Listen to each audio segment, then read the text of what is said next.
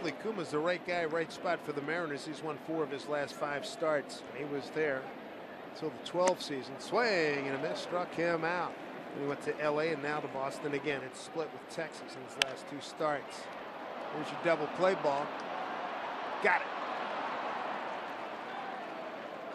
Round the horn, shoot out. Good pitch, struck him out looking. 0-2. He did go, didn't he? Yes, he did. They checked with Hunter Wendelstedt. It's punched out two away. The critical things for him in this game, commanding his fastball. Ooh, good pitch. Down and in. You called it. To right and to strike him. Bouncing ball, Seager. They get one, and they get two. Nicely done. Second time they've gone around the horn here tonight. And that is big. They turn away the Red Sox in the sixth.